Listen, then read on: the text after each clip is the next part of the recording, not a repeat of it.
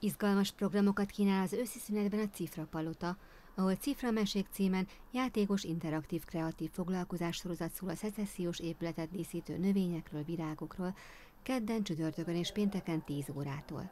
A történetek megismerése után a gyerekek elkészíthetik a mese szereplőit, használati tárgyait is.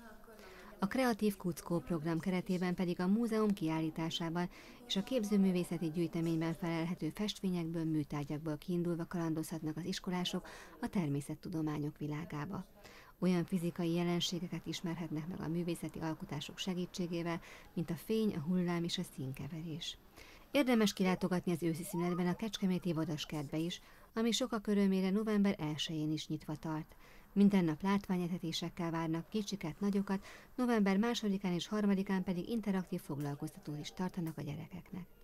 Bár az idő inkább tavaszias, korcsolyázásra is van lehetőség a szünetben, kinyitott ugyanis a fedett műjégpálya.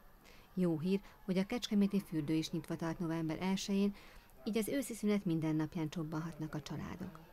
Október 31-én Kecskemét több városrészében is lesz halloweeni csoki gyűjtés, jelmezes felvonulás, de a nagykörösi Richter Safari Parkba is érdemes beöltözve érkezni. Jelmezversennyel és ingyenes arcfestéssel várják ugyanis a látogatókat. Ha messzebbre is kiruccannánk az őszi szünetben, jó jöhetnek a Kajla útlevelek, ezekkel ugyanis november 5-ig díjmentesen vonatozhatnak a gyerekek a belföldi vonatokon és a Volánbusz belföldi helyközi menetrendszeri járatain is.